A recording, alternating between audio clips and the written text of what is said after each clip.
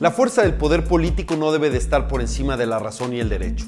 Soy Fernando Belamuzarán. El pasado 11 de abril, Félix Salgado Macedonio colocó afuera del INE un féretro con el nombre del presidente del instituto, Lorenzo Córdoba, advirtiéndole que irían a la casa donde vive con su familia. También mencionó que hallarían a los siete consejeros que votaron a favor de negarle el registro como candidato por incumplir las normas de fiscalización. Las amenazas proferidas son cosa seria y constituyen delito. Además, no son un hecho aislado. Antes, el también senador había amagado con impedir las elecciones en Guerrero si no le regresaban la candidatura y el dirigente de Morena, Mario Delgado, hizo lo propio al advertir que llevarían a juicio político a los consejeros si no cumplían sus deseos. Pero lo más grave es que la intimidación a la autoridad electoral es auspiciada por el presidente López Obrador, quien ha emprendido una campaña de desprestigio contra el árbitro de la contienda. En lugar de asumir la neutralidad que mandata la Constitución, el titular del Ejecutivo no deja de intervenir en los comicios. No solo arremete contra opositores y la hace de abogado de Salgado Macedonio, victimizándolo, también calumnia a la institución que organizó y vigiló los comicios que hoy lo tienen al frente del país y se unió a las amenazas afirmando que está analizando una iniciativa para reestructurar el organismo con nuevos integrantes. Si determinaron anular los registros es porque esa es la sanción prevista por no presentar gastos de precampaña, misma que se estableció por petición de los que hoy están en el poder. Es inadmisible que el presidente busque amedrentar a una institución autónoma para beneficiar a su partido. En lugar de ser jefe de Estado, se comporta como líder de pandilla. Pero debemos congratularnos porque el INE resistió la presión y no se dobló con el chantaje.